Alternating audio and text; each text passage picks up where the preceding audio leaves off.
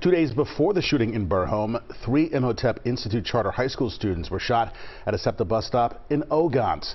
In that shooting, a 17-year-old was killed. Well, tonight, members of that community came together to try to find solutions to the gun violence in our city. CBS News Philadelphia reporter Kerri Corrado has more from East Germantown. The town hall at Imhotep High School was called Peace Not Guns. Just last week, a student was killed at a bus stop in Ogontz. Tonight, they remembered him and tried to find solutions to gun violence. We know what's going on, but we all say after the shooting happened, we be like, okay, this person died, that person died, now we on this team. But what about the prevention? It was a packed house inside Imhotep Institute Charter High School. The first part of the town hall, city leaders remembered 17-year-old Damian Taylor, who police say was killed last week at a SEPTA bus stop. Police say four other people were also shot. Philadelphia City Council President Kenyatta Johnson and Council member Cindy Bass hosted the event Wednesday night to address the gun violence plaguing the city. We know it was a rough week last week here in the city of Philadelphia. Um, you know, we want to get in front of this before the summer hits.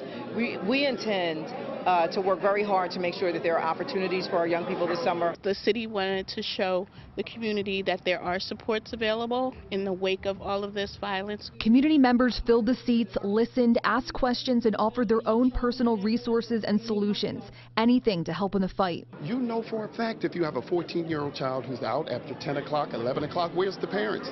Let's not blame Cherelle. Let's not blame the police chief.